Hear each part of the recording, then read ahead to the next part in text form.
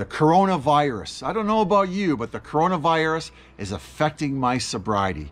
I'm used to going to face to face meetings three to four times a week, but that's basically been taken away from me here in Ottawa.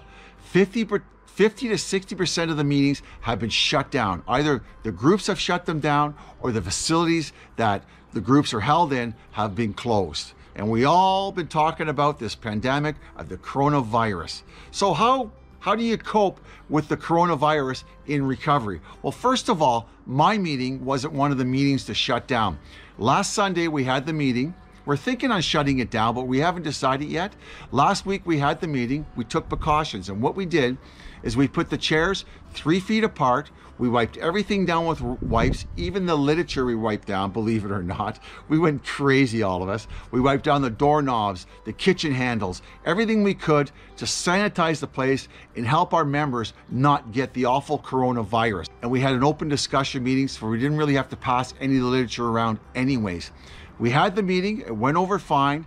When we did the responsibility pledge in the Lord's Prayer, we just simply remained seated and we just recited it. We just said it out loud. But if you don't want to just sit, sit there, you can stand up and lock elbows and say the Lord's Prayer or the responsibility pledge if you have that in your group. In the Ottawa area, that is very, very popular. Another thing you can do if you're afraid to go to meetings, you can go on Facebook and there's lots of recovery groups out there on Facebook. So you can, I put a few links below that can link you directly to those groups. You can be become a member of those groups and just you know talk like on like you would at a meeting and just talk about your concerns about your recovery there's a lot of participation in a lot of those groups, so you get a lot of great information. You can voice your concerns of what's going on. And let me tell you, people from all around the world will will give their opinion and they'll talk to you about it. There's also forums out there that are a little more interactive than Facebook groups. They're like on real time. You put something out there and people get right back to you very, very quickly. So I put a few links to that, that below too.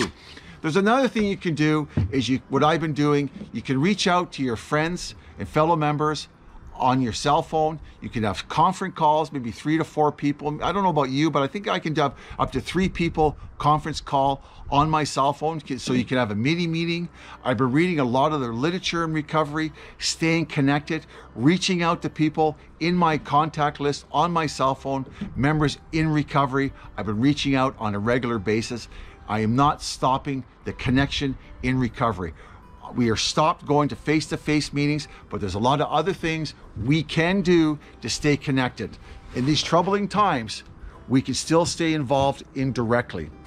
This coronavirus will pass. It might be a couple more weeks. It might take a month or maybe even take two, but it will pass and things will return back to normal. But in the meantime, it's no reason to drink.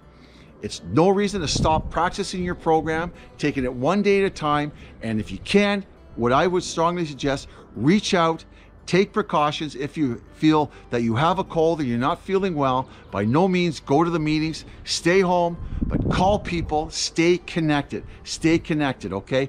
Keep active a little bit for myself. I'm walking, I'm getting out there. I'm not going to the gym because even those facilities are closed. So, you know, doing some exercise can help you.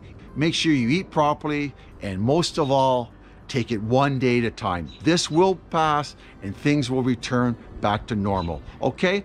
Thanks a lot for stopping by. I thought I'd just do a second video this week. Usually I just do one a week, but I thought, you know, I wanted to talk about the coronavirus and maybe it, this video will help some other people out there who are sort of don't know really what to do. They don't know really what to do about it. Okay? So this is, my name is Terry G. This is the Alcohol Free Life channel where we learn to live sober one day at a time, okay? One day at a time.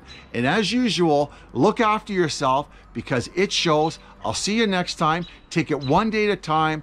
Pray for everybody that this coronavirus leaves us or somebody comes up with a cure to help us all. Is affecting the whole world. I cannot believe it.